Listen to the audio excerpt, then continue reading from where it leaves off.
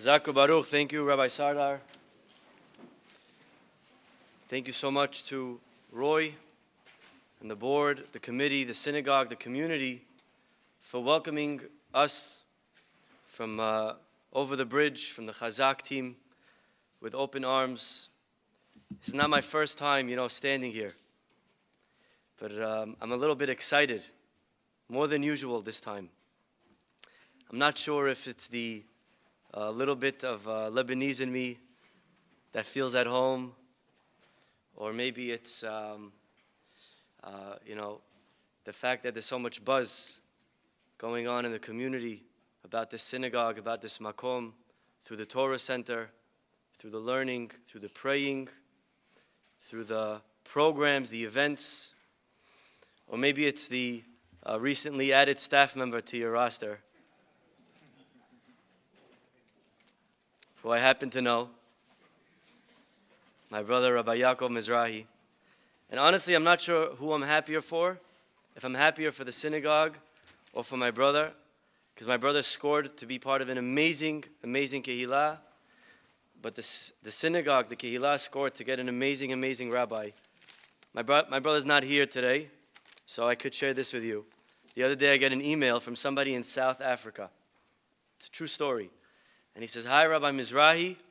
Heard so much about you. I listen to you on Torah anytime, and you are amazing. And we're having this amazing weekend Shabbaton in South Africa with top speakers and rabbis from all over the world. And we want you to come. By the way, is this Rabbi Yaakov Mizrahi? I'm like, no, you got the wrong rabbi. Baruch Hashem, so honored to be here.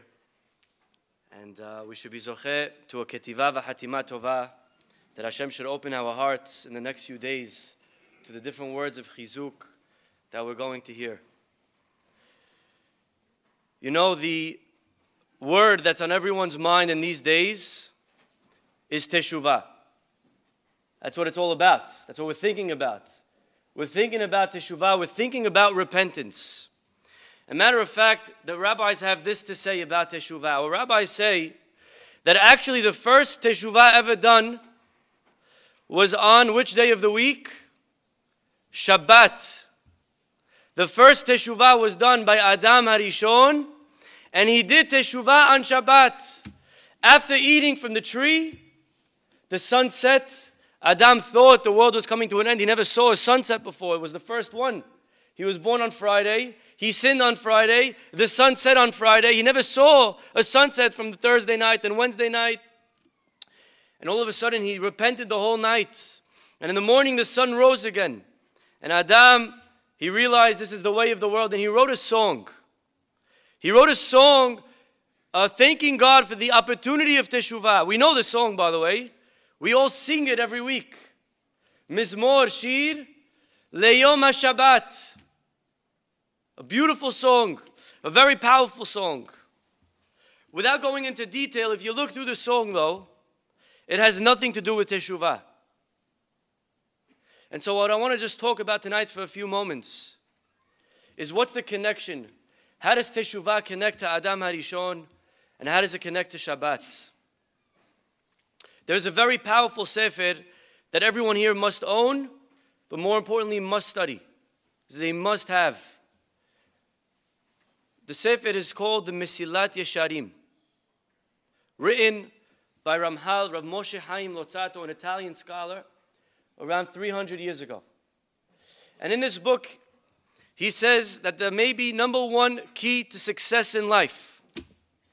The reason people succeed, the reason there are people that are better than others, is not because they're smarter, not because they're more talented, not because they're stronger, not because they have more. The reason people succeed comes down to a five letter word. People that succeed know how to think. Thinking is the key to success in life. A successful speech is written because before the speech, I'm thinking about what I want to say. The better the thought, the better the speech. Anyone that watches sports knows that the better team is not always the one that wins. The team that wins is the one that prepared better from Monday to Sunday. In life, if we think, we will be saved from so many problems. How many people, unfortunately, have addictions because they never thought, because they were handed something when they were in a car or in a house or in a classroom or in a park? The number one regret in America is getting a tattoo. Immediately afterwards, there is regret. Because sometimes in life we do things without thinking exactly what it is that we want to do. We're offered something. Be very, very careful when somebody comes to you and says, Here, I have an amazing business deal. You're going to get back 30%. It's a no brainer, but you have to answer me by tonight because we need to know there's very limited spots. Whenever someone tells you not to think, run away. Very, very dangerous in life to not think. The Yetzer Hara knows that if we think, we will be successful. The only job of the Yetzer Hara is to get us to not think. He is happy if you learn. He's happy if you pray. He's happy if you go do hesed. He's happy if you do whatever mitzvah you like. But don't stop and think about what you're doing. Because the moment we think, he's finished. How many people get into trouble because they said something without thinking? You know, there was a personality in the Torah that embodies the Yetzer Hara. And he knew the danger of thinking. The Mesilat Yesharim says we find this in who? In Paro. Remember when Moshe came and he said, Listen, we're thinking this is not a good deal over here. We're working for you, we're your slaves, and it's not working out for us. We want to go free. What did Paro say? Paro didn't say no. Paro said, one second. Are you thinking, Moshe? How do you have time to think?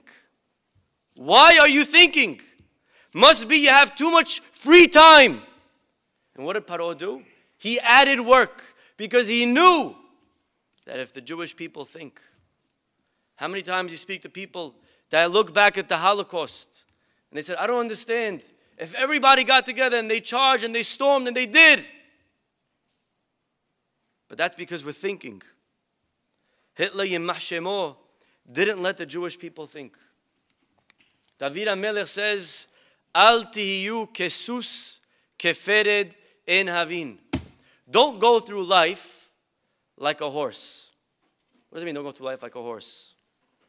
They give an amazing mashal. Listen to this example. You ever saw battlefield, two armies ready to fight, two nations, and each side each nation on one side of the hill, the other side of the hill, and they're ready, and each one has the captain, the general, the king, and they're charging him up, and they're getting him pumped. And all of a sudden, the shofar sounding and the trumpets, and charge, and everyone's going, and they're running to each other, right? Dun, dun, dun, and they're going. And all of a sudden, pause. Imagine you just paused as everyone's charging and you walked onto the battlefield in paused mode. And he went over to the king. He said, Mr. King, I have a question for you. What are you doing? Why are you charging? Why are you running into the middle of a battlefield? The king will tell, Well, of course, you know, my, my father was the king, his father was the king. It's all about remaining the king. If I'm not the king, I'd rather die. Okay? Makes sense? You go to the general. Mr. General, you're not the king. You will never be the king. Why are you doing this? The general says, Are you kidding me? Do you know how much honor I get? I, when I go back home, they stand up for me, they bow to me, they parade me, they salute me. I'm the most honorable man where I come from. Wow. They go to the soldier. Where are you going? Why are you doing this? Why are you risking your life? Soldier says, Listen, I'm not a king, I'm not a general. But to have my family in the situation that it is, oppressed by this opposing nation, with a life like that, I'd rather be dead. I'm fighting for the safety and protection of my children and my family. Beautiful. You go to the horse, Mr. Horse, Mr. Sus. What are you doing? Where are you going? Why are you doing this?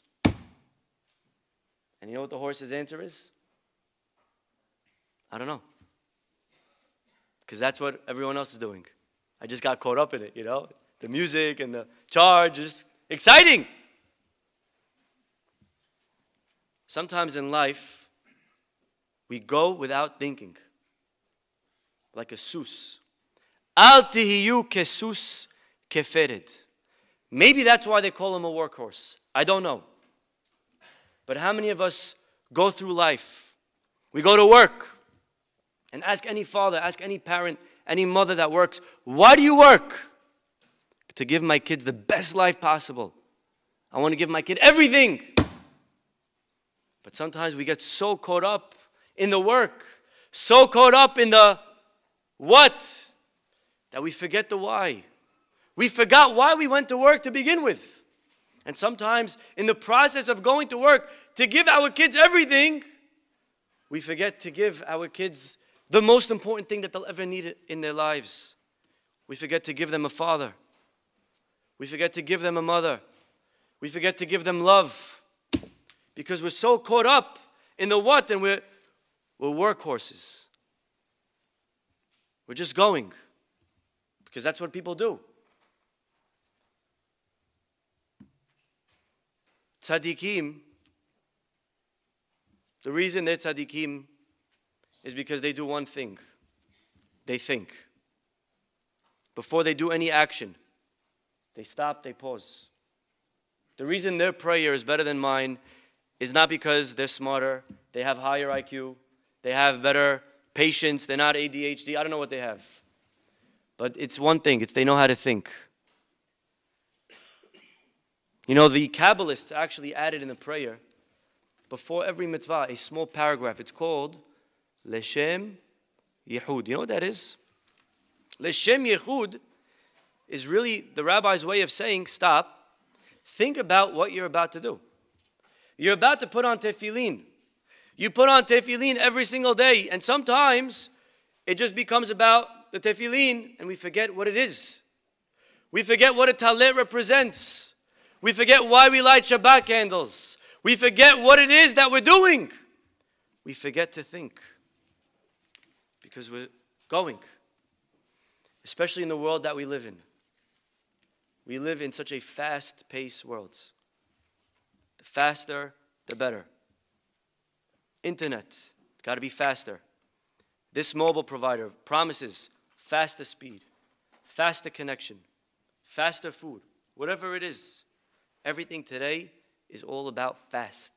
Just do it. Just go. Faster performance. It's going to happen better. You see it in the commercials with these credit cards where everyone's running and they're going in this loop. And they go, they get the food, they pay, they swipe. They go, they get the food, they pay, they swipe. Everyone's swiping and it's working beautifully.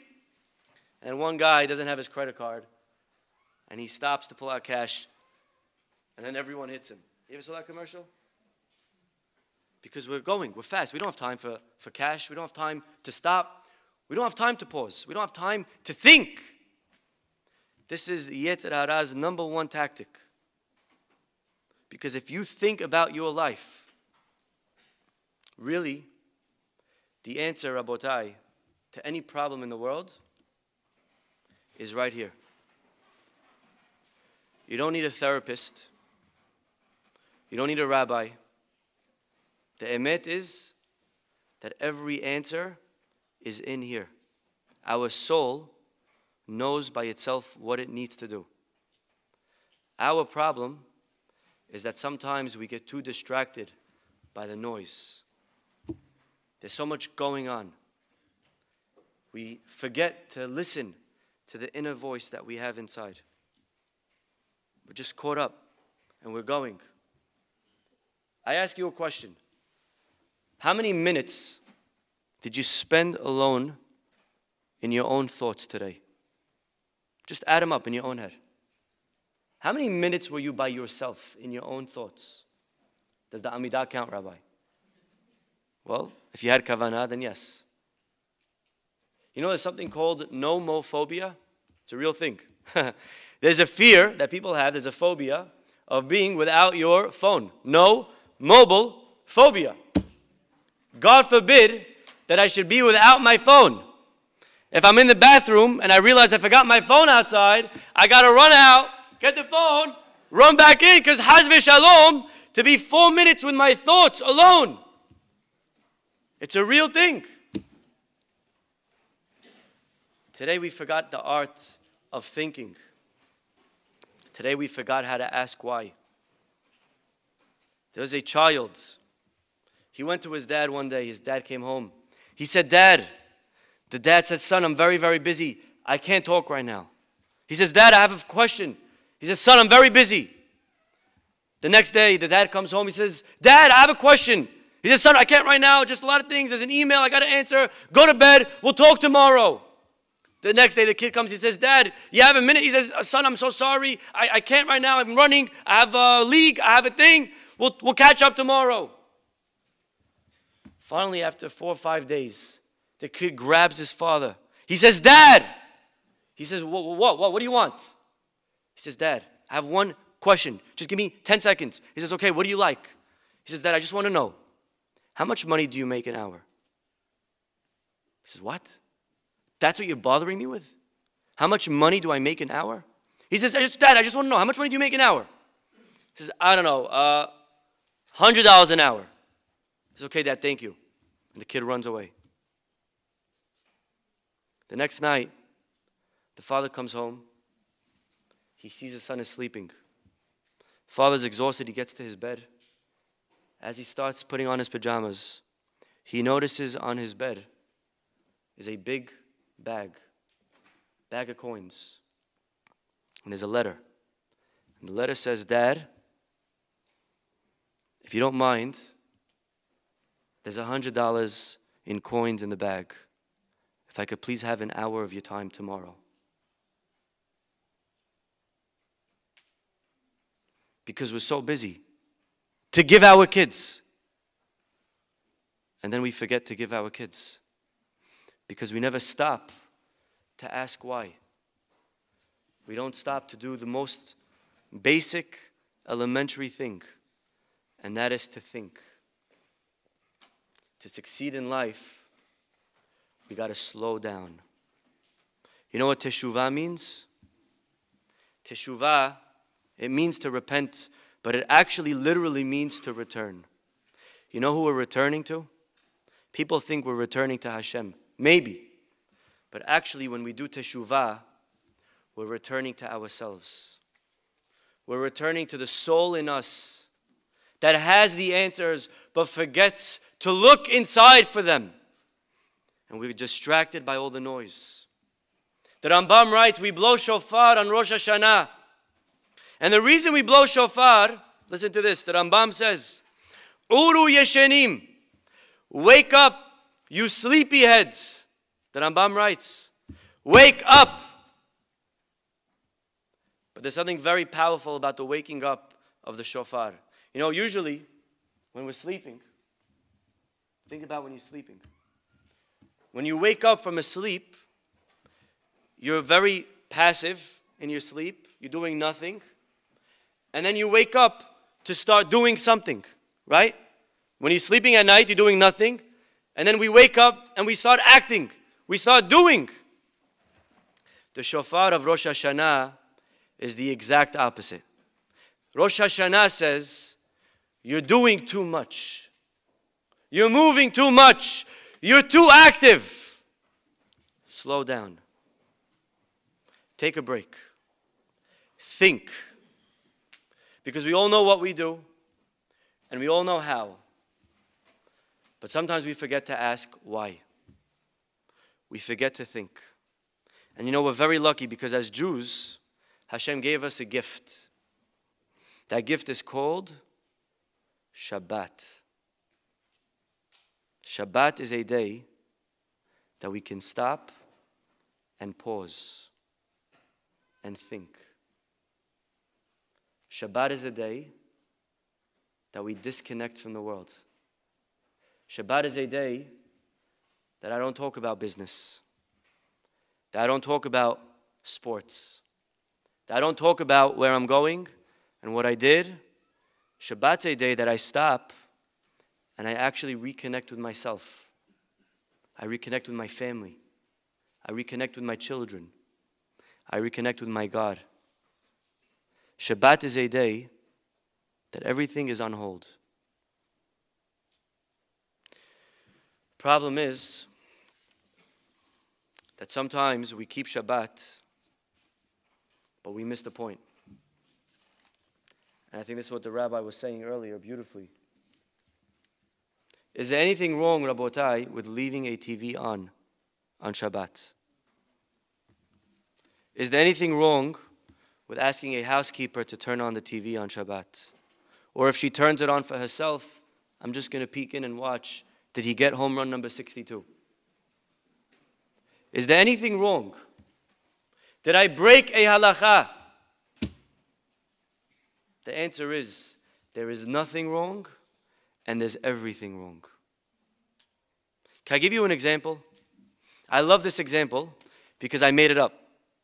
This is my mashal. As a rabbi, I have the license to do that. I would like to share with you a mashal that I thought of. I'm sure similar mashalim have been brought down in one shape or form. But there's a very powerful example that I was thinking about. The Re'im. Okay. And the example is like this there was a boy getting married. The mother goes to the brother and says, Listen, you have your brother's wedding tonight. I need you to make sure that you're shaved, you're showered, haircut, tuxedo, be at the hall at 6 p.m., don't leave till 2 a.m., and don't even think about bringing your phone. Got it? He says, Got it, mommy. Shower, shave, tuxedo, haircut, be there at 6, don't leave till 2, no phone, no problemo. Day of the wedding, shave, shower, tux, kids there at 5.55. That's a very bad number for us. But he's there early. He's there till 2. And he doesn't bring his phone. And the whole night, he's watching the game on his friend's phone. And after the night, he comes, he says, Mommy, aren't you proud of me? And the mother's crying. He says, Mommy, why are you crying? I did everything that you said. And she says, You did everything that I said, but you completely missed the point. Why did I tell you to come early? Why did I tell you to leave late? Why did I tell you not to bring your phone? Because I wanted you to enjoy the day with your brother. So you followed all the rules, but you completely missed the point. What is the point of Shabbat? The point is because we're all running and we're busy. And one day a week, God says, Stop. Put it all away. Don't forget about why. Don't forget about why we do, why we're here, what's the goal. You know, there's a guy came to shul Shabbat morning. And he says, Listen, he goes over to his friend. He says, Listen, Joe, I know it's Shabbat. We don't talk about business. But I heard your house is for sale. Just wanted to know how much you're asking. His friend says, Listen, Morris, you know, it's Shabbat. We don't talk about business, but I'm asking for 2.3. He says, Listen, I know it's Shabbat. We don't talk about business, but would you, would you think about 1.8? He says, Listen, Shabbat. We don't talk about these things. Come to me after the Torah. He comes to him after the Sefer Torah. He says, Listen, Joe, I know it's Shabbat. We don't talk about business, but do you think about my offer? Sisters, I know it's Shabbat, we don't talk about business, but I already sold it to AB. so we know it's Shabbat. And we're not supposed to talk about business. But then we talk about business. And then we leave the TV on. And my point is not, oh, the rabbi spoke about, don't leave the TV on. It's not, my, not the point of my speech. Point is, are we stopping and thinking about our lives?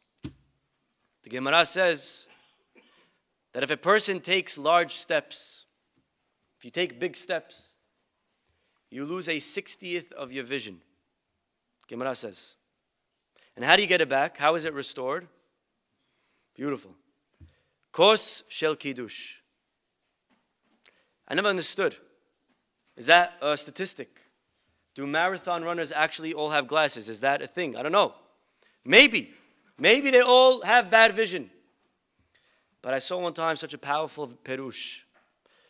What the Gemara means to say is that if you're going through life taking large steps, if we're always jumping and going to meeting, to league, to work, to vacation, to meeting, to lunch, to work, to vacation, to meeting, to lunch, to work, and we're taking big steps and we're going and going and going, you know what the result's going to be?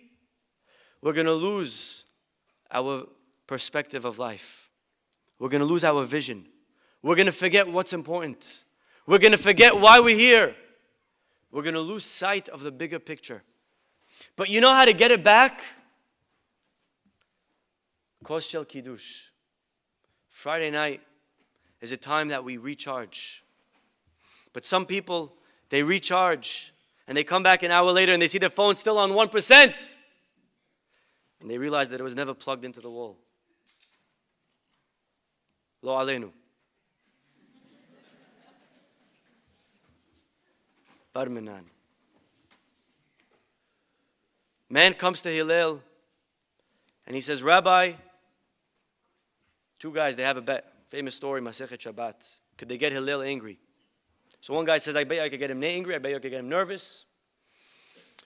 So he goes to him Friday afternoon. And he says, Rabbi Hillel, Hillel, Hillel. Hillel's in the shower. He's busy. Friday, very busy day for a rabbi. Hillel comes out. He says, Yes, my son, how could I help you? He says, I have a very, very important question. And the Gemara goes on to tell us that he asks him three of the dumbest questions ever recorded in history. He asks him, Why do the Babylonians have round heads? and he asks him, Why do the Talmudim have small eyes? And then he asks him, Why do the Afrikiim have flat feet? Three very dumb questions.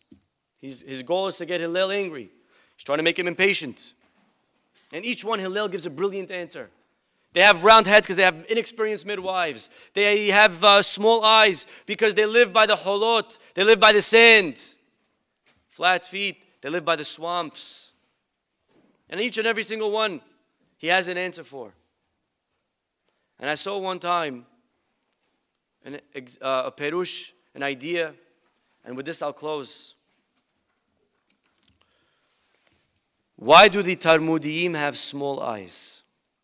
I don't know if he was talking about Asians. Today you call the guy xenophobic. But maybe, maybe, what he was asking. Why do these Talmudim, we know the Gemara tells us that this group of Talmudim, they were very into lust. They were always chasing food and money and good time. And so he says to him, Why do they have such small eyes? Why did they lose sight of the bigger picture of life? How could it be that they forgot about the important things? And you know what the answer says, Hillel? because they live by the holot. Hol means sand, but what else does hol mean? Hamavdil ben kodesh lechol. Because they live seven days a week chol. Even their Shabbat is a chol. Even their Shabbat is a weekday. They don't think. They don't stop. They don't introspect teshuvah, to return, to find the answers within, to block out the noise of the world, to take a break, We could do it on Shabbat, but really we have to do it every day. Hashem should bless us all with a ketiva v'chatima tova. Whatever it is that we want most, Hashem should bless and grant every single one of us. And I pray that we should be able to do teshuvah in the fullest sense of the word, to be able to return to ourselves by being able to think about not only what we do, but why we do it. And then we will be able to have lives that are that much more meaningful. Thank you for listening.